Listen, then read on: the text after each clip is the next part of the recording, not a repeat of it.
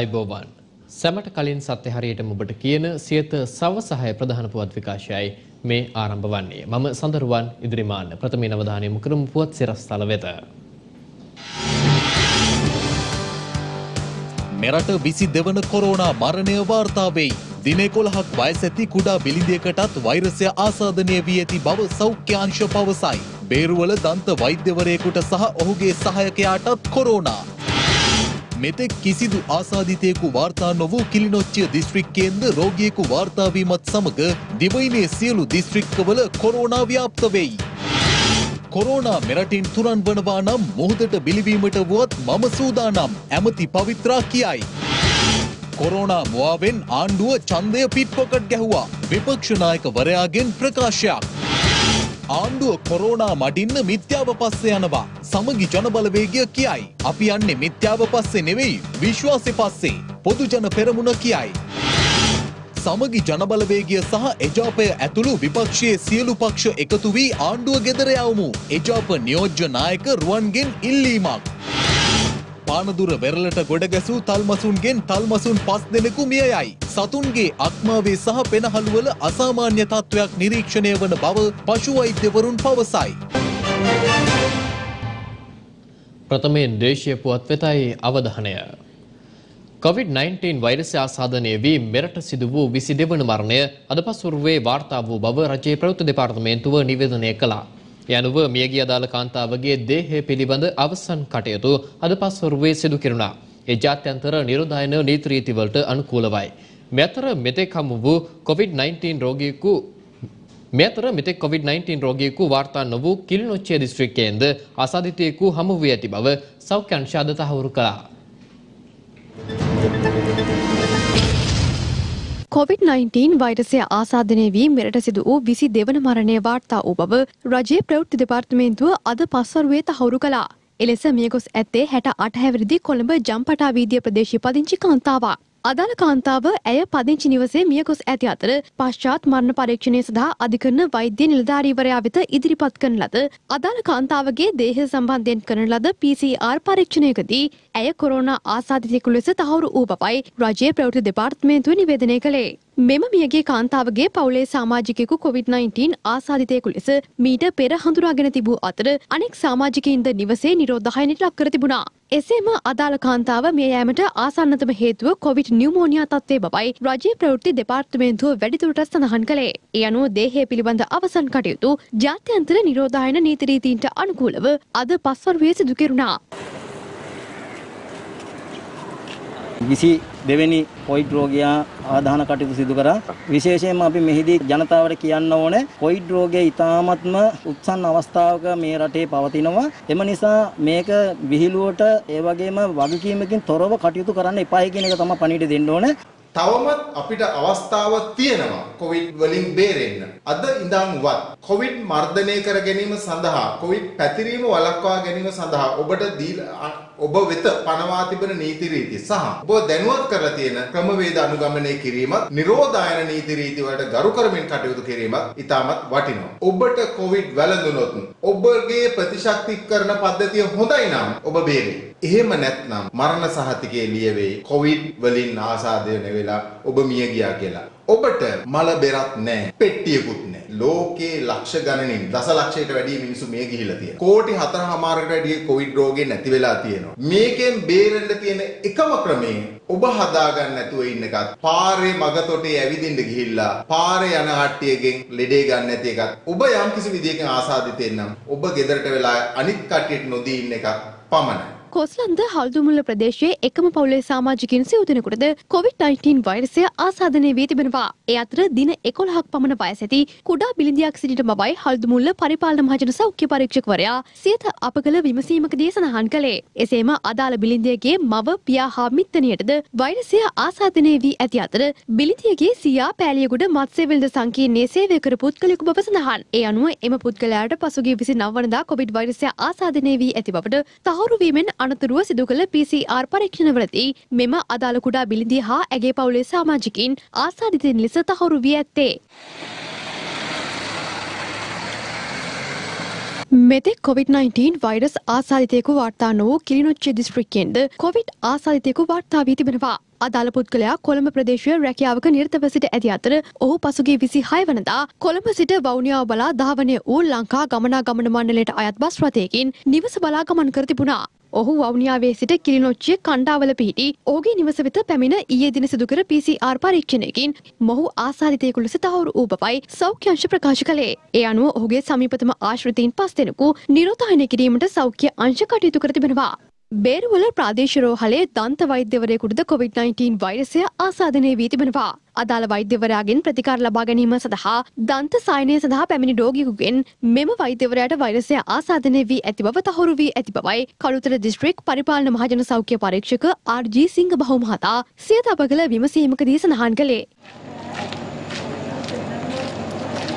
එසේම අදාළ වෛද්‍යවරයා සමග සේවය කළ කනිෂ්ඨ කාර්ය මණ්ඩලයේ සමාජිකයෙකුද කොවිඩ් ආසාදිතයෙකු ලෙස හඳුනාගෙන තිබෙනවා. ඒ අනුව ඔවුන්ගේ පවුල්වලට අයත් පුද්ගලයින් 60 දෙනෙකු පමණ නිරෝධායනය කිරීමටයි සෞඛ්‍ය අංශ කටයුතු කර ඇත්තේ.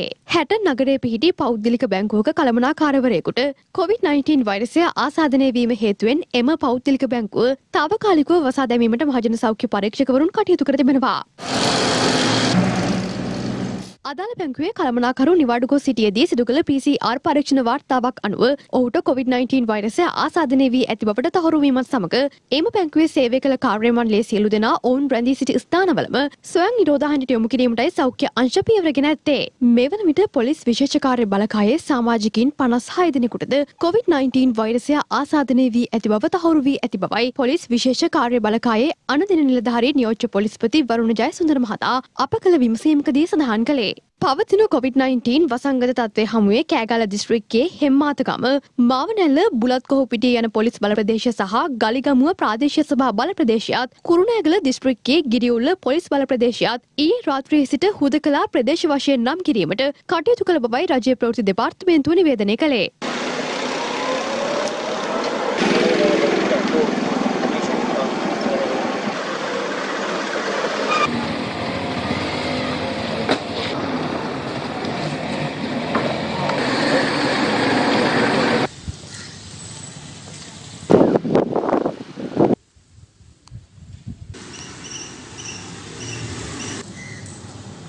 කෑගල්ල දිස්ත්‍රික්කයේ කොරෝනා වෛරස් තත්ත්වය මේ වෙන විට ආසාදිත රෝගීන් සංඛ්‍යාව 126ක් විතර තමයි වාර්තා වෙලා තිබෙන්නේ. නිරෝධායන කටයුතු සඳහා පවුල් 1547ක් සෞඛ්‍ය අංශයෙන් මේ වෙනට යොමු කරලා තිබෙනවා. දැනට කෑගල්ල දිස්ත්‍රික්කයේ මට්ටමට පාලනය කරගෙන තිබෙනවා. සෞඛ්‍ය අංශ සහ ඒ අදාළ නිලධාරීන් විසින් ජනතාව දැනුවත් කරලා විශේෂයෙන්ම සංචාරණ සීමා ඒ අය සඳහා පනවලා රජය විසින් ලබා දෙන සෞඛ්‍ය උපදෙස් අනුව ඒ ජනතාවට කටයුතු කරන ලෙස අවශ්‍ය උපදෙස් ලබා දීලා තිබෙනවා. අදාළ සංචරණ සීමා තුළ දැඩි ලෙස ආරක්ෂක අංශ විසින් ඒ සම්බන්ධව විමසිලිමත්ව කටයුතු කරනවා. ඒ වගේම ප්‍රදේශ කීපයක් ඊයේ උදකලා කරා කෑගල දිස්ත්‍රික්කයේ විශේෂයෙන්ම මාවනැල්ල බුලත් කොහොපිටිය එම්මාතගම ගලිගමුව කියන ප්‍රදේශවල. ඉතින් ඒ කරෙත් මේ ජනතාවට ගිය ආරක්ෂාව සඳහා ඒ සඳහා අවශ්‍ය සෞඛ්‍ය හේතුන් මත ඉතින් මේ වෙන විට ප්‍රදේශවලත් අවශ්‍ය මහජන සෞඛ්‍ය පරීක්ෂකතුමාලා ඇතුළු නිලධාරීන් අවශ්‍ය කටයුතු කරමින් පවතිනවා. නාරම්මල කිවුල්ගල්ල ප්‍රදේශයේ එළවලු හා මාළු වෙළඳාම් කටයුතු සිදු කළ පුද්ගලින් දෙදෙනෙකු කොවිඩ් ආසාදිතයින් ලෙස තහවුරුවීමෙන් අනතුරුව එම ප්‍රදේශයේ හුදකලා කිරීමට කටයුතු කළ බවයි නාරම්මල පොලිස් ස්ථානාධිපතිවරයා අප කළ විමසීමකදී සඳහන් කළේ.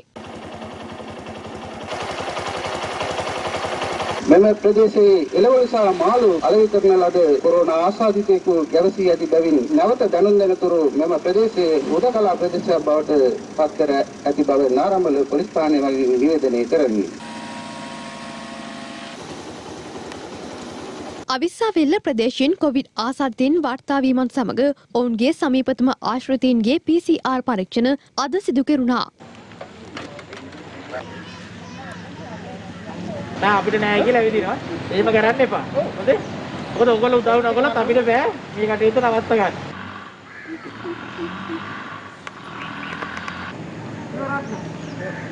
දිවෙන පුරා කොවිඩ් වෛරසය පැතිර යමත් සමග මහනුවර දිස්ත්‍රික්කයේ පවතින තත්ත්වය පිළිබඳව මහනුවර දිස්ත්‍රික් ලේකම් චන්ද්‍ර තෙන්නකෝන් මහතා මෙලෙස අදහස් පළ කළා.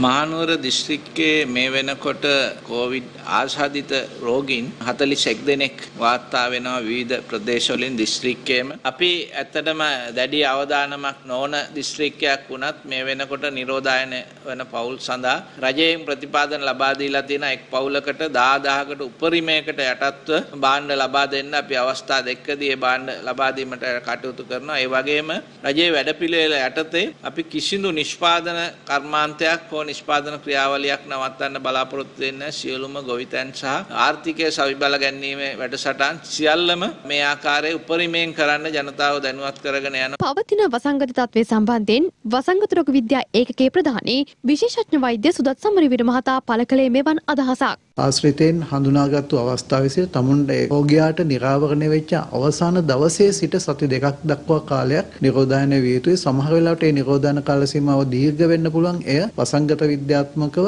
යම්කිසි ඇගයීමකට ලක් කිරීමෙන් පස්සේ සෞඛ්‍ය බල්ධාරීන් විසින් ඒ නිරෝධායන වෙන අයට දන්වනවා. අහඹු ලෙස PCR පරීක්ෂණ සිදු කිරීම එය අපි කරන්නේ සමාජයේ සිටින කිසිම විදිහකින් රෝග ලක්ෂණයක් නොපෙන්වන පුද්ගලයන් අතර මේ රෝගය තියෙනවද හඳුනා ගැනීම මේ වගේ අවස්ථාවකදී ඔවුන් කිසිම විදිහකින් PCR පරීක්ෂණයට භාජනය නොවූ අයත් අතර වෙනසක් නැහැ. ඒ නිසා ඒ වගේ අය නිරෝධායනය වීමක් අවශ්‍ය නැහැ. ඔවුන්ගේ PCR පරීක්ෂණවල ප්‍රතිඵල ආවට පස්සේ තමයි අපි ඇගීමට ලක් කරන්නේ. එතෙන්දී යම්කිසි විදියකින් අපි COVID-19 රෝගියෙක් හඳුනා ගන්නවා නම් ඒ හඳුනාගත්තු වහාම අපි උන්ගේ ආශ්‍රිතයන් හඳුනා ගැනීමත් නිරෝධායනය කිරීමත් එතන යම්කිසි විදියකින් රෝගය පැතිරීමේ යම්කිසි අවදානමක් තියෙනවා නම් එය පාලනය කිරීමට අවශ්‍ය කටයුතුත් අපි සිදු කරනවා. PCR පරීක්ෂණ සිදු කරන සියලුම දෙනා නිරෝධායනය වෙන්න අවශ්‍ය නැහැ. ඒ සඳහා අවශ්‍ය අය සෞඛ්‍ය බලධාරීන් විසින් ඒ අවස්ථාවලදී නිර්දේශ කරනවා ඒ අනුව තමයි කටයුතු කළ යුත්තේ. කොවිඩ් ආසාදනය වූ පුද්ගලයෙකු පිළිබඳව තොරතුරු වාර්තාවීමත් සමග අධ්‍යාපන අමාත්‍යංශයේ ඉසුරු පාය ගොඩනැගිල්ල తాවකාලිකව වසා දැමීමට කටයුතු කර තිබෙනවා.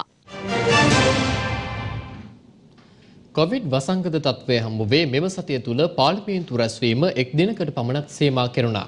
ඒ අනුව අද දින රැස් වූ පාර්ලිමේන්තු සභාවාරයේදී සෞඛ්‍ය අමාත්‍ය පවිත්‍රාවන්‍ය ආරච්චි මහත්මිය විසින් වෛද්‍ය ආඥා පනතට ඉදිරිපත් කර ඇති නියෝග දෙකක් විවාදයට ගනු ලැබුවා. එහිදී කොවිඩ් වසංගතය මැඩලීමට රජය ගෙන යන වැඩපිළිවෙල සම්බන්ධයෙන් පක්ෂව සහ විපක්ෂව විවිධ අදහස් පළ වුණා. රටක සෞඛ්‍ය හැමෝටම පොදුයි. ඇමතිවරු පත්වෙන්න පුළුවන් ඇමතිවරු එනවා යනවා. ආණ්ඩු එනවා යනවා. සෞඛ්‍ය සේවයේ ප්‍රමිතීන් රැක ගැනීම අපේ ආණ්ඩුවේ වගකීමක් ඉහළ සෞඛ්‍ය ප්‍රමිතියක්. මේ රටේ ඇති කිරීම අපේ වගකීම. ඒ වගේම මේ දිනවල මුහුණු පොතේ මම දැක්කා ආගමික කටයුත්තක් කරනකොට ඒ සම්බන්ධයෙන් විපක්ෂය විසින් නොයෙකුත් ආකාරයට මුහුණු පොතේ සටහන් කරලා තිබුණා. මේ පවිත්‍රවන්‍ය ආරච්චි මහමුදට බිලි වෙලා ඔයා මේ හරි මේ බිලි වෙන්න මේක මේව කරන්න කියලා. ඇත්තටම මේ COVID-19 ලංකාවෙන් මර්ධනය වෙනවා නම් ඒක කරන්නත් මම ලෑස්ති. ඒක වෙනවා නම්. මෙම රෝගය ලංකාව තුල මර්ධනය කරන්න කටයුතු කළේ අපි දේශපාලන වශයෙන් කටයුතු කරන්න ගියේ නෑ. සෞඛ්‍ය අමාත්‍යතුමිය කොරෝනාව සාර්ථකව මැඩ පැවැත්වීම පිළිබඳව ප්‍රකාශ කරා පළවෙනි පදක්කම යන්නට ඕන අතිගරු ජනාධිපතිතුමාට දෙවෙනි පදක්කම යන්නට ඕන ගරු අග්‍රාමාත්‍යතුමාට. මම එතුමියගෙන් අහන්න කැමතියි දැන් එතකොට මේ දෙවෙනි රැල්ලේ පළවෙනි පදක්කම කාටද යන්නට ඕන දෙවෙනි පදක්කම කාටද යන්න ඕන කියන එක මම එතුමියගෙන් අහන්නට කැමතියි. මේ මහමැතිවරණ සමයේ මොකද්ද කරේ? සම්පූර්ණයෙන්ම කොරෝනාව දේශපාලන පන්දුවක් කරගත්තා. ඡන්දේ පිප්පොකට් ගැහුවා. ඇමතිතුමිය කියනවා සියලුම ලෝක සෞඛ්‍ය සංවිධානයේ නිර්දේශ අනුගමනය කරනවායි කිය. හැබැයි මේ රටේ මුස්ලිම් ඉස්ලාමීය ප්‍රජාවට පුච්චන එක පාප කර්මයක්.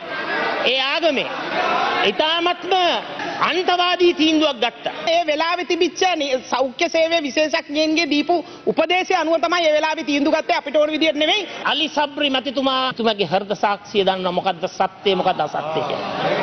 අලි සබ්රි මැතිතුමා දන්නවා. කලගෙඩිය එහෙම නැත්නම් මුට්ටිය විසි කරන්න ඉස්සෙල්ලා වෙන්ටිලේටර් ටික අනුමුන් කරන්න තිබ්බා. පාර්ලිමේන්තුව නොමගෑවන මස වෙන්ටිලේටර්ස් දෙසීයක්. ගිය මාසේ අපි අලුතෙන් ගෙනල්ලා හිටන් බෙදුවා. ඒට අමතරව වෙන්ටිලේටර්ස් 600ක් තිබුණා. අපිට තිබුණේ එක PCR ලැබ් එකයි. අද ලැබ් 26ක් හදලා තියෙනවා.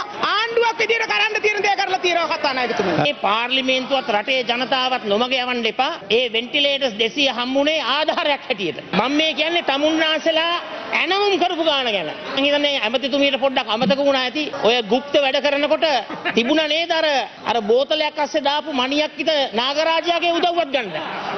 ණයාගේ උදව්ව ගන්න. ජනාධිපතිවරණය ජයග්‍රහණය කරන්නට උදව් වුණා නම් කොරෝනාව මර්ධනය කරන්නට උදව් වෙනවයි කියන එක මම මතක් කරන්න කැමතියි. ඒකත් ඔබතුමිය ක්‍රියාත්මක කරන්න. විපක්ෂ නායකතුමාට ගැසට් එකක් හරියට කියව ගන්න තේරෙන්නේ නැහැ. මේක පාර්ලිමේන්තුවක් ගැන කතා කරන. මේ ගැසට් එක ගැහුවේ පොදු ස්ථාන. ඒ පාර්ලිමේන්තුවගේ පරිසර නෙමෙයි එළිය පරිසර. මම දැන් ඕක කිව්වා. දැන් එතුමිය ඇතුළතයි පිටතයි ගැන විශේෂඥවරියක් වෙලා. මං කතා කරන්නේ පාර්ලිමේන්තුව ගැන. එදා අහනකොට කිව්වා තාම තියෙන්නේ පොකුරු ව්‍යාප්තියක් කියලා. දැන් සමාජ ව්‍යාප්තිය නැද්ද? සමාජ ව්‍යාප්තිය නැත්තම් මොනවටද කෑගල්ල ලොක්ඩවුන් කරන්නේ? සමාජ ව්‍යාප්තිය නැත්තම් ඇයි නාරම්මල ලොක්ඩවුන් කරන්නේ? අපි දන්නවා මුස්ලිම් ජනතාවගේ යම් කිසි ප්‍රශ්නයක් තියෙනවයි කියලා ඔය භූමිදානය කරන එක පිළිබඳ. නමුත් ඒක දේශපාලනය කිරීම සුදුසු නෑ. මේක ඉවෝල්වින් සයන්ස් එකක්. ඉදිරියට මොකද්ද වෙන්න කියන එක. එයින්ද මේක දේශපාලනය කරන්න හොඳ නෑ. මේක මේක දේශපාලනයක් නෙමෙයි. ඔබතුමා මැරුණොත් ඔබතුමාවත් පුච්චනවා. මම මැරුණොත් මාවත් පුච්චනවා. අන්න ඒක කල්පනා කරන්න. අපි සෞඛ්‍ය අමාත්‍යාංශයෙන් නැවත නැවත අලි සබ්‍රි මැතිතුමාගේ ඉල්ලීමට කමිටුව පත් කරලා තියෙනවා. ඒ කමිටුව මේ සතියේ රැස් වෙනවා. අපි රැස් වෙලා ඒ සම්බන්ධයෙන් නැවත සලකා බලමු. කොතරින් හරි මේ වෛරසය පාර්ලිමේන්තුව ඇතුළටත් ඇතුළත් වී තිබෙනවා. තාමත් අපි මේ සක්‍රීය සමාජ කොටස ඇතුළට තමයි මේ ප්‍රවාහය වෙලා තිබෙන්නේ. හැබැයි මේ සක්‍රීය කණ්ඩායම බිඳිලා මේ අපේ රටේ මහලු වැඩිහිටි බවට පත් වූ විවිධ ලෙඩ රෝග වලින් පෙරෙන ගේ ආශ්‍රිතව ජීවත් වෙන අයට මේක ආවොත් මා හිතන්නේ අපේ රට විශාල වියසෙන් ලක් විය හැකියි. මේ ගරු කතානන්ද මල්ටි බැරල් වලින් හෝ යුද ටැංකිය වලින් විසඳිය හැකි ප්‍රශ්නයක් නෙවෙයි. දැන් මේ අවස්ථාවේදී වැඩිහිටි දීමනාව ලබන සියලු දෙනාට රුපියල් 5000 නොදීමට තීන්දුව කරලා තියෙනවා. ආබාධිත දීමනාම ලැබිච්ච අයටත් රුපියල් 5000 නොදෙන්න කටයුතු කරලා තියෙනවා. දැන් මේ වෙලාවයි. හර්ෂණ රාජකරුණ මන්ත්‍රීතුමා සපත්තු ඉල්ලනවා. මම කකුල් ඉල්ලන්නයි හදන්නේ මේ ගරු අගමැතිතුමා ඇතුළු මේ සියලුම දෙනා ඉස්සරහා. කුරුණෑගල දිස්ත්‍රික්කයේ ওই ගම්පහ දිස්ත්‍රික්කයේ වාගෙම රුපියල් 5000 දීමනාව කිසිම කෙනෙකුට ඒ ප්‍රදේශයේ ලැබෙන්නේ නැහැ. කුරුණෑගල දිස්ත්‍රික්කයේ ගරු මන්ත්‍රීතුමා ඊයේ ඉඳන් රුපියල් 10000 බෙදනවා ආහාර බලු 5000 බැගින්. ඊළඟට රුපියල් 5000 දීමනාව සාකච්ඡා කරලා ඒකත් ලබා දෙන්න අවශ්‍ය ක්‍රියාමාර්ග ගනිමින් ඉන්නේ. වැඩිහිටි දීමනාව කපලා නැහැ ගරු මන්ත්‍රීතුමා බොරු කියන්න එපා මේ සභාවට. ඇයි පිළිගන්නේ නැත්තේ? ලංකාවත් කොයිඩ් වසංගතය හොඳට පාලනය කරලා තියෙනවා කියන එක. ඈ ආගෙන ඉන්න ආගෙන ඉන්න ආගෙන ඉන්න ඕන කෙනෙක්ට විවාදයට එන්න පුළුවන් සංඛ්‍යාලයකන එක්ක පාස්කු ප්‍රහාරය සිද්ධ වෙද්දි කැනඩාවේ හිටියා. දවස් 15ක් ගිහලා ලංකාවේ ආවේ. ලංකාවේ අමුවේ අමු අමුවේ මිනිස්සු මැරුණා. පොඩි ළමයි මැරුණා. කතා කරන්න පාර්ලිමේන්තුවට ආපු නැති අණ්ඩු කුමාර දිසානායක එනවා එකක් ගැන නිවැරදි කරන්න. මම 21 කිව්වා 22යිලු. ලැජ්ජයි තමුන්නාංශ ගැන 300ක් මැරනම 300 ගැන කතා කරන්න මේ පාර්ලිමේන්තුවේ හිටියේ නෑ. ප්‍රහාරය සිද්ධ වුණේ 21. ඒතර මා ලංකාවට එනවා 25. පොඩි පොඩි. අනේ ඔයත් එක මොන ඔට්ටු දන්නේ. මීගොමින් ගොඩ බානේවද හොඳ දෙවුන්දරින් ගොඩ බානේවද හොඳ කියලා ඔට්ටුවක් දාමු. දැන් තමයි ආවේ තව දෙදෙනෙක් මිය ගියපු බව. ඒ නිසා තමයි මා කිව්වේ 21 නෙවෙයි 23ක් බව. දැන් වාර්තා වී තිබෙනවා. ඒකට ඒ තරම් දඟලන්න මා දන්නේ ගරු කතානායකතුමා මොකද්ද හේතුව කියලා. ආස්තු ප්‍රහාරය සිද්ධ වෙනකොට රනිල් වික්‍රමසිංහ මහත්මයාගේ ආණ්ඩුවේ රාජ්‍ය අමාත්‍ය ධූරයක් දරපු කෙනා මේ මට චෝදනා කරනවා. හරි. හරි ඒක ඔබතුමා කතා කරගෙන යන්න. මගේ මන්ත්‍රී ධූරය අභියෝගයට ලක් කරනවා. පාස්කු ප්‍රහාරයේදී යාපාලාන්නේ මම හිටියානම් මං අද මන්ත්‍රී ධූරයෙන් අයින් වෙනවා. තමුන්නාන්සේ මගේ අභියෝගේ බාර ගන්නවද? ජනතා විමුක්ති පෙරමුණ කියන්නේ මේ රටේ මිනිස්සුන්ව නොමගයවන ජාතියක්. ඒ නිසා තමයි තමුන්නාන්සලා 40 ඉඳලා 16ට බෑලා 16 ඉඳලා 8ට බෑලා 8 ඉඳලා 6ට බෑලා 6 ඉඳලා 3ට බෑලා එකට බයින්න යන්නේ තුන ආරක්ෂා කරගන්න කියන එක අපි තාමත් පැහැදිලිව අණ්ඩු කුමාර දිසානායක මහත්තයාට කියන්න ආසයි. පැටලෙන්නේ නැතුව ඔබතුමා කතාව කරන්න. අද විද්‍යාවට වඩා මිත්‍යාව තමයි රද කරන්නේ. කලගෙඩි දානවා මුට්ටි දානවා වැව් වලට ජලාශ වලට වදිනවා. මේ මේ ආණ්ඩුවේ වියත්මග කියලා කිව්වට අද මේක වියත්මගේ නෙවෙයි යන්නේ මිත්‍යා මගේ යන්නේ ඒක ඒක ඒක රීති ප්‍රශ්නයක් නෙමෙයි ඔබතුමා කොවිඩ් මරණ අවසාන තුනම 21 22 23 තුනම උනේ ගෙවල් වල ඉඳන් ස්පිරිතාලට ඇවිල්ලා ආවට පස්සේ තමා මරුණට පස්සේ තමා මේ කොවිඩ් ආසාදිත බව අඳුරගත්තේ. ඒ කියන්නේ ගෙවල් වල කොවිඩ් ආසාදිතයන් ඉන්නවා. ඉතින් මේක හරි ප්‍රශ්නයක් මේ වෙලාවේ. ඒ රෝගීන් අපි කොරන්ටයින් කරපු අය නිවාස නිරෝධායනයකට ලක් කරපු අපේ ආවේක්ෂණ පද්ධතිය ඇතුලේ ඉන්න අයව ටෙස්ට් කරපුවාම තමයි ඒ අයගේ ඔය මරණවල PCR පරීක්ෂණය. නිරෝධායන වෙලා ඉන්න කෙනෙක් නිරෝධායන වාට්ටුවකට දාන්න ඕනේ. දැන් ඒගොල්ලෝ ස්පිරිතාලට ඇවිල්ලා සාමාන්‍ය වාට්ටුවේ තමයි මිය ගිහිල්ලා තියෙන්නේ. ඉතින් නිරෝධායන වෙවි ඉන්න අය නෙමෙයි. ඒකින්ද ඒක ඒ පැහැදිලි කිරීම. ඒ සම්බන්ධයෙන් මට අධ්‍යයනය කරන්නත් වෙලාවක් නැහැ. මේ දැන් මම පාර්ලිමේන්තුවට ආවට පස්සේ මරණ වෙලා තියෙන්නේ. මම ඉදිරි දිනයක පාර්ලිමේන්තුවේ දැනුම් දෙන්න. වත්මන් ආණ්ඩුව කොරෝනා මර්ධනය සඳහා විද්‍යාව වෙනුවට මිත්‍යාව තෝරාගෙන ඇති බව පාර්ලිමේන්තු මන්ත්‍රී එස්.එම්. මරික්කාර් මහතා පවසනවා. කොළඹදී මාධ්‍ය වෙත ඒ මහතා මේ බව ප්‍රකාශ කර සිටියා. කොරෝනා පාලනය කරගන්න බැරුව කයියක ගහ ඉඳලා සිංගප්පූරුවයි ඉතාලියයි අපෙන් ඉගෙන ගන්න ඕන කියලා පොරටෝක් දීලා ලොකු ටෝක් දීදී ඉඳලා අසරණ වෙලා අනාථ වෙලා විද්‍යාව වෙනුවට මිත්‍යාව තෝරගෙන එලිහන්ත වයිට් මහත්මයාගේ කුණ්ඩලී වතුර කලවල දාලා ගංගාවලට මුදාහරණ තත්ත්වයට පත්ලා තියෙනවා. දැන් ඇත්තටම ඒ වතුර ගඟට මික්ස් වෙන්න ඕන නම් කලේ ගැට ගහපු එක ගලවන්න ඕන. දැන් සෞඛ්‍ය හැමතිතුමියට තියෙන හදිස්සිය නිසා කලේ ගැට ගහලා වහලා තිබිච්ච එකවත් ගලවන්න නැතුව තමයි දාන්නේ. ඉතින් ඒ නිසා අපි දැක්ක ගම්මන් පිළ මාත්තා හොර ගෙඩියෙක් වගේ ගිහිල්ලා තමයි ඒක දාන්නේ. බයෙන් බයෙන් මිනිස්සුන්ට පේන්නේ නැති වෙන්නේ. රට වහලා ලොක්ඩවුන් කරන තත්ත්වයට පත්ලා ඉන්න මොහොතේ අපිට ආරංචියක් තියෙනවා. දැන් ඉල්ලීමක් කරලා තියෙනවලු ත්‍රිකුණාමලය ආශ්‍රිතව ආර්ථික කලාපයක් හදන්න ඇමරිකාවට අවස්ථාව ලබා දෙන්න කියලා. මේ මොකද ඉල්ලන්නේ? අවසානයේදී ඉල්ලන්නේ ඔය ආර්ථික කලාපය හදන්න දුන්නොත් ත්‍රිකුණාමල වරාය ඇමරිකාවට ලබා දීමේ ව්‍යාපෘතිය තමයි ක්‍රියාත්මක වෙන්නේ. මේ ආණ්ඩුවට බලය දුන්නේ මේ විපක්ෂයේ අපි කියන කියන දේ මතක් කරාට පස්සේ තීන්දුව తీරන ගන්න නම් ක්‍රියාමාර්ග ගන්න නම් මේ රටට ආණ්ඩුවක් අවශ්‍ය වෙන්නේ නැහැ. එහෙමනම් විපක්ෂයට බලය දීලා ඒගොල්ලන් අයින් වෙන්න ඕනි. ඒ නිසා මම කියනවා ගෝඨාභය ෆේල් කියලා. දැන් අද කොවිඩ් වලට බෙහෙත් තියෙනවයි කිව්වා. ඒක පෙන්වන්න විදිහක් නැහැ කිව්වා. සුදර්ශනී පැණියක් ගැන කිව්වා. දැන් ඇති පැණියකුත් නැහැ. කලගෙඩි සෙල්ලමක් කරනවා ටිකිරිලියා ගඟේ ගියා වගේ ඒ සෙල්ලම විතරයි කියන එක තමයි කියන්න ඕනේ. මොකද ලෝක සෞඛ්‍ය සංවිධානයේ දීපු සල්ලි වලින් මාස 6ක් යනකම් ඒ අවශ්‍ය උපකරණ මිලදී නොගත්ත ආණ්ඩුවක් මේක. ඒකට හේතුව අපිට හිතෙනවා මේක ඇතුලේ තියෙනවයි කියලා මාෆියාවක්. විවිධ විශ්වාස මත පදනම්ව කටයුතු කරන්නේ මෙරට සිටින කොවිඩ් රෝගීන් බේරා ගැනීමේ අරමුණින් බව පාර්ලිමේන්තු මන්ත්‍රී ඩිලාන් පෙරේරා මහතා පවසනවා. එය අද කොළඹ පැවති මාධ්‍ය හමුවකට එක් වෙමින්.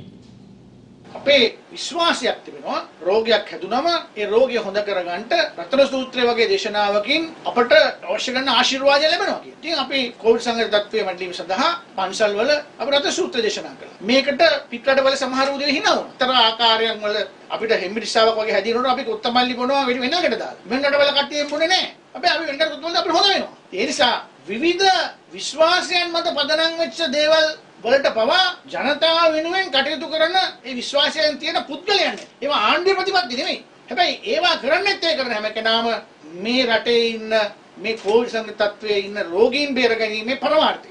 අපේ රටේ ඉස්සර අපිට සරම්ප රෝගය හැදුනම්, පැපල රෝගය හැදුනම් ඒවත් කොවිඩ් සංගතයන්ම වසංගතයක් තර බරපතල නොවුනත් ඒවත් වසංගතයක්. අපි ගෙදර ඉස්සර කොලෙල්ල කොලෙල්ල කියව අනිත් අයට එන්න එපා කියලා. එහෙමයි වෙන රටවල කරන්නේ නැහැ. ඒ රටවල ආගමික සංස්කෘති විශ්වාසයන් තියෙන. ඒ විශ්වාසයන් සමහර ඒවා හරි.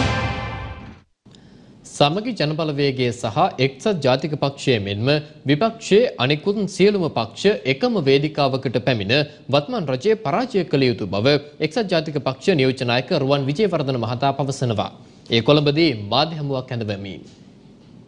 විශේෂයෙන්ම අපි දැක්කා යුද හමුදාපතිතුමා එකක් කියනවා සෞඛ්‍ය නිලධාරීන් වෙන එකක් කියනවා කවුරු කියන දේද බාරගන්න. ඒ වගේම අපි අහන්නට අවශ්‍යයි පසුගිය කාලේ චීන රජය විසින් විශාල මුදල් ප්‍රමාණයක් දුන්නා මේ රටට මේ කොවිඩ් වසංගතයට වෙරෙහිව සටන් කරන්නට සෞඛ්‍ය අමාත්‍යාංශයේ විශේෂයෙන්ම අහන්නට ඕනේ මොකද්ද මේ මුදල් වලින් කරලා තියෙන්නේ. ඊයේ පෙරේදත් මේ ගොඩක් අද රටේ ජනතාව අතර කතා වෙන දෙයක්. සෞඛ්‍ය අමාත්‍යාංශයත් ඒ වගේම අමාත්‍ය මණ්ඩලයේ 3-4 දෙනෙක් ගිහිල්ලා කලගෙඩි අරන් කඟට විසික් කරන දෙයක් අපි දැක්කා. ඇත්තෙන්ම මේ මුදල් දීලා තියෙන්නේ කලගෙඩි විසික් කරන්න නෙවෙයිනේ. අපි මේ රජයෙන් අහන්නේ මේ ඇත්ත తත්වය මේ රටේ ජනතාවට පැහැදිලිව පෙන්වලා දෙන්න. මොකද අපි දකිනවා මේ රජය විසින් ගොඩක් දේවල් හංගනවා. අපි සෞඛ්‍ය අමාත්‍යතුමිය වහාම ඉල්ලා අස්වෙන්න කියලා අපි ඉල්ලීමක් කරනවා. මං හිතන්නේ මේ රජයට ඡන්ද දුන අයත් දැන් ගොඩක් කනගාටු වෙනවා. ඇයි මේ රජයට ඡන්ද දුන්නේ කියන එක. ඉතින් ඒක ඒ නිසා මං හිතනවා අපිට අපේ එක්සත් ජාතික පක්ෂයත් ඒ වගේම සජබෙත් අනිත් විපක්ෂීන පක්ෂ සියලු දෙනාම එක වේදිකාවකට අපි එන්නට ඕනේ මේ මේ ආණ්ඩුව පරද්ද. COVID-19 වෛරස ව්‍යාප්තිය සහ ඒ මැඩලීමට ගෙන ඇති පීවර සම්බන්ධයෙන් පක්ෂ විපක්ෂ මැති ඇමතිවරුන් පළ කළ අදහස් වෙතයි දැන් අවධානය. අද ලෝකේ පළවෙනිම සෞඛ්‍ය අමාත්‍යවරී බවට පත් වෙන කොරෝනා රෝගය වෙනුවෙන් මුට්ටි ගඟට දාන අමාත්‍යවරී බවට පවිත්‍රා දේවී වන්‍යාරච්චි මැතිණිය පත් වෙලා තියෙනවා. මුට්ටිය දාලා තමයි මේ රටේ කොරෝනා පාලනය කරන්න හදන්නේ. එතුමියගේ දෙවනියා විදියට කටයුතු කර පළවෙනි පාරට මේ රටේ පාර්ලිමේන්තු නියෝජනය කළා. පළවෙනි පාරම මේ රටේ සෞඛ්‍ය රාජ්‍ය අමාත්‍යවරයා බවට පත් වෙන්න ලැබුණා. එතුමා තෙල් බෙහෙත් විකුණන ගුණ වෙනුව යනවා. එතුමා පැණි විකුණනවා. මේව තමයි අද සෞඛ්‍ය බාර දීලා ඉන්න අපේ ප්‍රධානම චරිත දෙක අද මේ රටේ ජනතාවට කටයුතු කරන්නේ. බල කරලා රටේ ජනතාව වෙනුවෙන් අපි ඉල්ලනවා රාජ්‍ය අමාත්‍යතුමාටයි කැබිනට් අමාත්‍යතුමියටයි දෙන්නටම ඔබට බාර දීලා තියෙන්නේ මේ රටේ ජනතාවගේ ජීවිත. ඒ නිසා මේ ජීවිතත් එක්ක සෙල්ලම් කරන්නේ නැතුව රටට විහිළු සපයන්නේ නැතුව කටයුතු කරන්න කියන එක අපි ඉල්ලින්නේ. එක වේලක් හරි කාලා තමන්ගේ ජීවිතය බේරගන්න මේ වෙලාවේ උත්සාහ කරන්න මේ කොවිඩ් වසංගතයෙන් අපේ රටත් ගිලෙන නැවක් බවට පත් වෙලා තිබෙන්නේ. මේ දේශපාලනය ගැන වෙනත් වෙනත් තර්ක විතර්ක කතා කරන එක නෙවෙයි මේ වෙලාවේ කළ යුත්තේ. රජයට හැමෝම ඇඟිල්ල දික් කර කර දොස් කියන්න එපා. මේක රජය විසින් බිහි කරපු දෙයක් නෙවෙයි. ජනතාව හැටියට අපිට ලොකු වගකීමක් තියෙනවා. ඒ කියන දේ අහලා කටයුතු කිරීම. බොරදියේ මාළුබාමින් තමන්ගේ දේශපාලන අරමුණු ඉෂ්ට කර ගැනීමෙන් යුක්තව රජයට දොස් කියමින් තමන්ගේ දේශපාලන අරමුණු ඉෂ්ට කරගන්නට කටයුතු කරන බවක් අපිට පේනවා.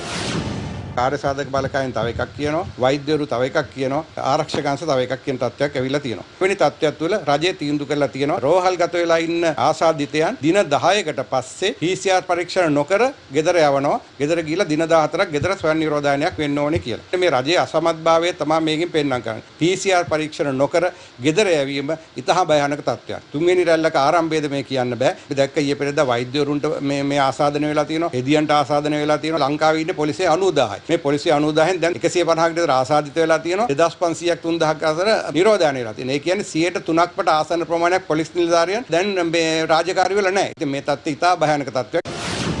විපක්ෂ හැමදාම චෝදනා කරනවා මාර්තු මාසයේදී අපි මේ රටම කැඳිරි නීති දාන අවස්ථාවේදී පාර්ලිමේන්තුවක් කැඳවන්න කියලා ඉල්ලීම කරා. ඉතින් අද මේ ඔක්කොම ඉවර වෙලා අද පාර්ලිමේන්තුව වල අතට කැඳවන්න පුළුවන්. ඒකෙදී දැන් කියනවා පාර්ලිමේන්තුව කැඳවන්න එපා කියලා. ඉතින් මේ වගේ නොයෙක් ආකාරයේ නොයෙකුත් චෝදනා කරන එක සහ වැරදි බෙහෙත් දෙන එක තමයි විපක්ෂ නායකතුමාගේ එකම වැඩපිළිවෙල. ඒ නිසා අපි කියනවා විපක්ෂ නායකතුමාට සහ විපක්ෂයට මේ අවස්ථාවේදී පක්ෂ ભેදයකින් තොරව සෑම සියලු දෙනාම එකට එක්කව් වෙලා අපේ රටේ තියෙන උද්ගත වෙලා තියෙන තත්ත්වය වෙනස් කරන්න සියලු දෙනාගේ සහයෝගය ලබා දෙන්න කියලා.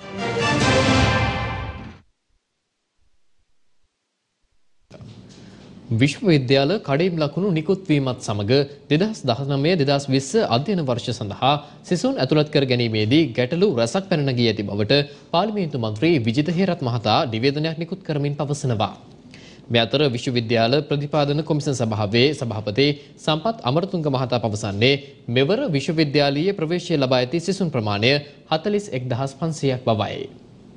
අපි කවුරුත් දන්නවා 2019 අධ්‍යාපන පොදු සහතික පත්‍ර උසස් පෙළ විභාගය සඳහා දරුවන් විෂය නිර්දේශ දෙකක් යටතේ කටයුතු කරා නව නිර්දේශය සහ පැරණි නිර්දේශය යනාදී වශයෙන් රජය විසින් හැකිතරම් දරුවන්ට විශ්වවිද්‍යාල ප්‍රවේශය සඳහා අවස්ථා ලබා දීම කියන ප්‍රතිපත්තිය මත මෙවර විශ්වවිද්‍යාල පද්ධතියට දරුවන් දසදහසකට වඩා වැඩි ප්‍රමාණයක් ඇතුළත් කර ගැනීමට අවශ්‍ය සියලුම කටයුතු සිදු කරලා තියෙනවා. ඒ නිසා නව සහ පැරණි විෂය නිර්දේශයන් ඔස්සේ උසස් පෙළට සහභාගී වෙච්ච දරුවන් මෙවර 41500ක් ප්‍රමාණයක් මේ වසර සඳහා විශ්වවිද්‍යාලයට ඇතුළත් කර ගැනීමට නියමිතයි. කඩයිම් ලකුණු නිකුත් කිරීමත් සමග දරුවන්ට තියෙන විශාල ප්‍රශ්නයක් තමයි ඔවුන්ගේ අභියාචනා ඉදිරිපත් කරන්නේ කෙසේද කියලා. කඩයිම් ලකුණු ඉදිරිපත් කරපු දවසේ සිට මාසක කාලයක් දක්වා ඔවුන්ට ඔවුන්ගේ අභියාචනා ඉදිරිපත් කරන්න පුළුවන්. කුමන හෝ හේතුවක් මත ඔවුන් විසින් ඉදිරිපත් කරන අභියාචනා විශ්වවිද්‍යාල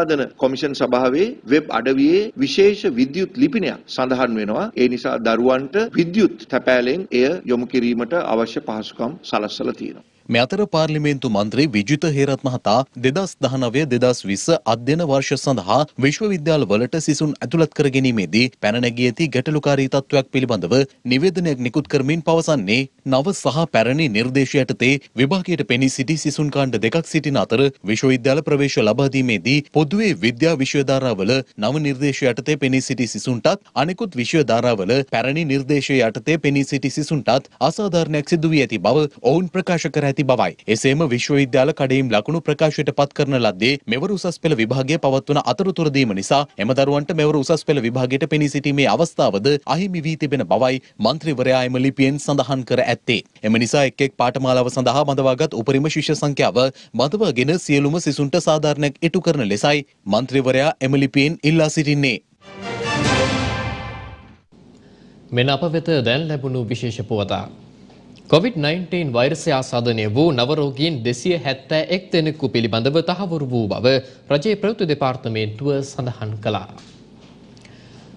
පාර්ලිමේන්තු මන්ත්‍රීවරුන් 18 දෙනෙකුගෙන් සමන්විත පාර්ලිමේන්තු මුදල් කාර්ක සභාව කතානායක මහින්ද යපබේවර්ධන මහතා විසින් අද දින නම් කරනු ලැබුවා. පාර්ලිමේන්තු මන්ත්‍රීවරුන් 18 දෙනෙකුගෙන් සමන්විත පාර්ලිමේන්තු මුදල්කාරක සභාව කතානායක මහින්ද යපා අබේවර්ධන මහතා විසින් අද දින නම් කරනු ලැබුවා. ඒ අනුව ආචාර්ය බන්දුල ගුණවර්ධන, කෙහෙලිය රඹුක්වැල්ල, සුසිල් ප්‍රේමජයන්ත, විදුර වික්‍රමනායක, ආචාර්ය සරත් වීරසේකර, ආචාර්ය නාලක ගොඩහේවා යන අමාත්‍යවරුන්ද අනුර ප්‍රියදර්ශන යාපා, විජිත හේරත්, ඩිලාන් පෙරේරා, ආචාර්ය හර්ෂද සිල්වා, එම්.ඒ. සුමන්තිරන්, චමින්ද විජේසිරි, හේෂා විතානගේ, ඉසුරු දොඩංගොඩ, සහන් ප්‍රදීප් සහ මහාචාර්ය රංජිත් බණ්ඩාර සහ අනූප පැස්කුවල් යන මන්ත්‍රීවරුන්ද ඊට අයත් වනවා. මුදල් කාරක සභාව රැස් වී එහි සභාපතිවරයා තෝරා ගැනීමට එම කාරක සභාවේ මන්ත්‍රීවරුන් විසින් ගනු ලැබූ යෝජනාවද අද දින පාර්ලිමේන්තුවේදී සම්මත වුණා. මේ අතර අග්‍රාමාත්‍ය කාර්යාලය විසින් නිවේදනයක් නිකුත් කරමින් ව්‍යවස්ථාදායක සභාවේ අග්‍රාමාත්‍යවරයා විසින් පත් කරනු ලබන නියෝජිතයා ලෙස ධීවර අමාත්‍ය ඩග්ලස් දේවානන්ද මහතා පත් කර තිබෙන බව ප්‍රකාශ කරනවා. ඒ අනුව ව්‍යවස්ථාදායක සභාව අග්‍රාමාත්‍යවරයා කතානායකවරයා විපක්ෂ නායකවරයා ඇතුළු අග්‍රාමාත්‍යවරයා විසින් පත් කරනු ලබන නියෝජිතයෙකු කතානායකවරයා විසින් පත් කරන නියෝජිතයෙකු සහ විපක්ෂ නායකවරයා විසින් පත් කරනු ලබන නියෝජිතයෙකුගෙන් සමන්විත වනවා. පානතුර වෙරළ තීරයට ඊයේ පසුරුවේ පැමිණි තල්මසුන් අතරින් පස් දෙනෙකු මේ වන විට මිය ගොස් ඇති අතර එම සතුන්ගේ පශ්චාත් මරණ පරීක්ෂණ කටයුතු වල ප්‍රතිඵල ඉදිරියේදී ලබා දීමට කටයුතු කරන බව පශු වෛද්‍ය නිලධාරී සුහද ජයවර්ධන මහතා ප්‍රකාශ කළා. ඒ මහතා වැඩිදුරටත් සඳහන් කළේ එම සතුන්ගේ පෙනහළු සහ අක්මාවල අසාමාන්‍ය තත්ත්වයක් දක්නට ලැබෙන බවයි.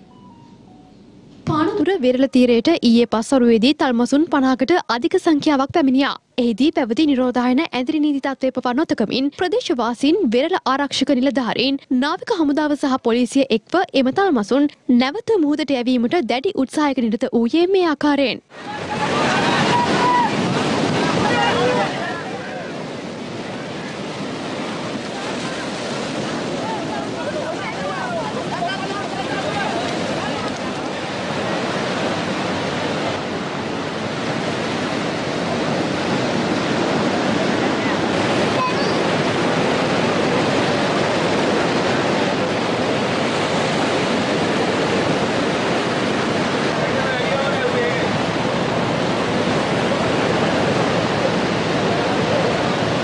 මේ සතා සාමාන්‍යයෙන් ලෝකේ වටේ මෙහෙම ගොඩ ගැහිම් වෙලා තියෙනවා. ඒ කියන්නේ මාස්කර ඉස්සෙල්ලා ඕස්ට්‍රේලියාවේ සත්තු 470ක් ගොඩ ගැහිලා තිබුණා. ඒක මේක සාමාන්‍යයෙන් මෙහෙම වෙන්නේ. ලංකාවෙත් මේකට ඉස්සෙල්ලා සැරයක් වෙලා තියෙනවා මේ අවුරුදු 5කට ඉස්සෙල්ලා සාම්පූර් ප්‍රදේශයේ. සාමාන්‍යයෙන් මොකද්ද වෙන්නේ කියන්නේ මේ මේ සත්තු පවුල් හැටියට තමයි ඉන්නේ. පවුල් හැටියට තමයි හැමතැනම යන්නේ. හැබැයි මේගොල්ලෝ මේ දැන් වෙරළා අයින්ට ඇවිල්ලා එක්කෙනෙක් දෙන්නෙක් මේ තල්ලු වෙලා වෙරළින්ද තල්ලු වෙලා ගොඩට ආවොත් ඔක්කොම සත්තු ටික එනවා. ඒකයි ලොකුම ප්‍රශ්නේ. ඉතින් ඒක ප්‍රිවෙන්ට් කරන්න ඒක නතර කරන්න විදිහක් නැහැ. හැබැයි මේක වුණොත් අපි ඒක බලා ගන්න විදිහක් තියෙනවා. පුළුවන් තරම් වෙහෙසලා සත්තු එළියට ගත්තත් අර මේ වේව් බ්‍රේක් එකට එහා පැත්තේ ගෙනිච්ච නැත්නම් ඇත්තටම සත්තු ආයේ මේ පැත්තට ගොඩ ගැහිලා එයි.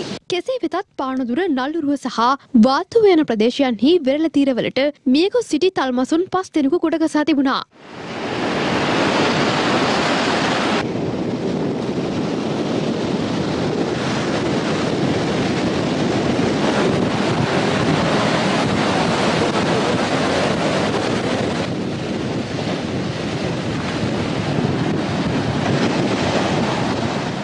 ඒ අනුව අද පස්වරුවේදී මියගිය තල්මසුන්ගේ පශ්චාත් මරණ පරීක්ෂණ කටයුතු සිදු කරනු ලැබුවා.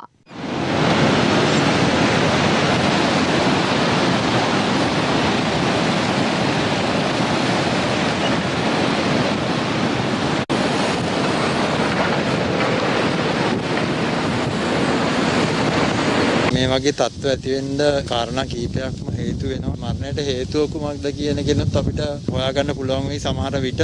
මෙහෙම සත්තු ගොඩක් එකතු වෙන්නත් හේතුව. මේකෙදි අපි දැන් සත්ත්වගේ මරණ පරීක්ෂණයක් සිදු කරා. අභ්‍යන්තර ඉන්ද්‍රියන්ගේ තියෙනවා අසාමාන්‍යතා. ඒවා දැන් අපි පරීක්ෂණ වලට යොමු කරනවා. දැනට අසාමාන්‍ය ලක්ෂණ පෙනහළු වලත් ඒ වගේම අක්මාවෙත් දකින්න ලැබෙනවා.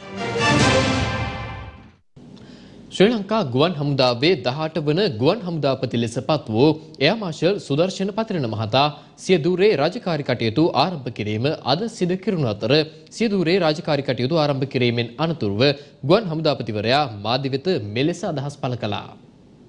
ඉදිරියේදී විශේෂිත වූ ඉලක්ක හතරක් කරා ගුවන් හමුදාව අරගෙන යනවා. පළමු ඉලක්කය හැටියට මේ ශ්‍රී ලංකාවේ මහජනතාව බලාපොරොත්තු වෙන ගුවන් ශක්තිය ඒ ආකාරයෙන් මේ ගුවන් හමුදාව තුළ පවත්වා ගැනීම සඳහා දැනට විශාල ගුවන් යානා ප්‍රමාණයක් තියෙනවා නැවත වැඩි දියුණු කළ පියසර ක්‍රියාකාරකම් සඳහා යෙදවීමට. ඒවා ඉතා ඉක්මනින් වැඩි දියුණු කර ගැනීමට නව ගුවන් යානා යම්කිසි ප්‍රමාණයක් තියෙනවා අපිට ලබාගෙන ප්‍රහාරක සහ වෙනත් මෙහෙයුම් නිරීක්ෂණ ආධාර ගුවන් මෙහෙයුම් සඳහා යොදා ගන්නා ඒ ගුවන් යානා ලබාගෙන අපේ ගුවන් ශක්තිය වර්ධනය කර ගැනීමට. එවනුව ඉලක්කය හැටියට මම බලාපොරොත්තු වෙනවා ශ්‍රී ලංකා සමුද්‍රීය කලාපය ගුවනින් ආරක්ෂා කර ගැනීමට ඇති ශක්තියක් ඇති ගුවන් හමුදාවක් ලෙස ඉදිරියට යන්න. තුන්වෙනි ඉලක්කය හැටියට අභියෝගතා ගැන විශේෂ විමර්ශනයක් කරලා ඒවට මුහුණ දීමට හැකිවන පරිදි පුහුණු වීම සහ ඒ ප්‍රහාරක සැලසුම් වෙනස් කරමින් නියමුවන් රහිත ගුවන් යානා පද්ධතිය නගා සිටුවීමට සයිබර් තාක්ෂණය වැඩි දියුණු කිරීමට ඉදිරියේදී ඒවා ජය ගැනීමට බලාපොරොත්තු වෙනවා. හතරවෙනි ඉලක්කය හැටියට මම බලාපොරොත්තු වන්නේ ශ්‍රී ලංකාව දූපතක් දැන් ස්වාභාවික ආපදා අවස්ථාවල් වලදී ශ්‍රී ලංකා ගුවන් හමුදාවක් හැටියට රටේ මහ ජනතාව මහ ජන දේපලත් ආරක්ෂා කර ගැනීමට ගුවනින් අපිට දෙන්න පුළුවන් උපරිම ශක්තිය දීමට හැකි ලෙසට ගුවන් හමුදාව ඉදිරියට ගෙන යාමට මේ වර්ෂයේ මේ දක්වා ඩෙංගු බවට සැක කරන රෝගීන් 28654ක් වාර්තා වී ඇති බව වසංගත රෝග විද්‍යායකකය සඳහන් කර තිබෙනවා. දෙවන අන්තර් මෝසම් කාලගුණ තත්ත්වය දිවයින තුළ ක්‍රමයෙන් ස්ථාපිත වෙමින් පැවතීම හේතුවෙන් ඉදිරියේදී සවස් කාලයේ හෝ රාත්‍රී කාලයේ ගිගුරුම් සහිත වැසි සමග අකුණු ඇතිවීමේ වැඩි අවධානමක් පවතින බව කාලගුණ විද්‍යා දෙපාර්තමේන්තුව නිවේදනයක් නිකුත් කරමින් සඳහන් කරනවා. මේ අතර මෙම වර්ෂයේ මේ දක්වා ඩෙංගු බවට සැකකරන රෝගීන් 28654ක් මුළු දිවයිනෙන් වාර්තා වී ඇති බව වසංගත රෝග විද්‍යා ඒකකය සඳහන් කරනවා. ඒ අනුව ජනවාරි මාසයේ රෝගීන් 11608ක්ද පෙබරවාරි මාසයේ රෝගීන් පන්දස් තුන්සිය හැට අටක්ද මාර්තු මාසේ රෝගීන් එක්දස් හයිසි අසූ තුනක් මෙන්ම අප්‍රේල් මාසේ රෝගීන් පන්සිය කොළහක් සහ මැයි මාසේ රෝගීන් එක්දස් පන්සි හතලිස් අටක් ජුනි මාසේ රෝගීන් දෙදස් දෙසිය පනස් දෙකක් ජුලි මාසේ රෝගීන් දෙදස් දෙසිය හැත්ත නවයක්ද අගුස්තු මාසේ රෝගීන් එක්දස් පන්සි අටක්ද සැප්තැම්බර් මාසේ රෝගීන් එක්දස් එකසි හතලිස් එකක් සහ ඔක්තෝබ මාසේ රෝගීන් හත්සිය පනස් හයක් මෙලෙස ගෙවුණු මාස කිහිපය තුළ හඳුනාගෙන ඇති බවයි වසංගත රෝග විද්‍යායකකය වැඩිදුරටත් සඳහන් කරන්නේ. දැන් රටවටා පුවත් කිහිපයක් කෙටියෙන්. කොරෝනා ආසාදිතින් හඳුනා ගැනීමට කෙරෙන PCR පරීක්ෂණ යන්ත්‍රය ප්‍රයෝජනයට ගැනීම සඳහා අනුරාධපුර වසංගත රෝග විද්‍යා අංශයට අත්‍යවශ්‍යව තිබූ ශීතකරණයක් ශ්‍රී ලංකා ඉදිකිරීම සංගමයේ උතුරුමැද සුබසාධක සංගමය මකින් පරිත්‍යාග කරනු ලැබුවා. සබරගමුව විශ්වවිද්‍යාලයේ හත්වැනි උපකුලපතිවරයා වශයෙන් මහාචාර්ය උදේ රත්නායක මහතා අද එම විශ්වවිද්‍යාලයේ උපකුලපති කාර්යාලයේදී වැඩබහරගෙන තිබෙනවා. වායාව තත්ත්ව විගත මිද්දෝ එයවමිතෝ ගුණ සම්පන්නෝ අනෝමසු සබ්බේ බුද්ධා බලප්පත්තා ස්වයං නිරෝධායනයට යොමු කර සිටි හැටන් බණ්ඩාරනායකපුර ප්‍රදේශයේ පාසල් සිසුවෙක් දහනවයයි අනුව සුවසැරිය හදිසි ගිලන් රථය මගින් අදින පොදු සහතික පත්‍ර උසස් පෙළ විභාගයට පෙනී සිටීම සඳහා අදාළ විභාග මධ්‍යස්ථානය දක්වා සෞඛ්‍ය ආරක්ෂිතව ප්‍රවාහනය කිරීමට හැටන් දික්කොය නගර සභාවේ සෞඛ්‍ය අංශ විසින් අද පෙරවරුවේ කටයුතු කළා. ඒත් සමගින් සියත සවසහය ප්‍රධාන පුවත් විකාශය අවසන්. මෙම පුවත් ඇතුළු තවත් දෙස් විදෙස් ආර්ථික සහ ක්‍රීඩා තොරතුරු සඳහා පිවිසන්න www.siathanews.lk අපගේ වෙබ් අඩවිය වෙත. අපි අලි හමුවන්නේ රාත්‍රී 9:35ට අපගේ රාත්‍රී ප්‍රවෘත්ති විකාශය තුලින්. ඔබට සුබ සන්ධ්‍යාවක්. දිනපතා අලුත් වීඩියෝ සහ ප්‍රවෘත්ති නැරඹීමට ඉහත බටන් එක ක්ලික් කර සියත TV සබස්ක්‍රයිබ් කරන්න.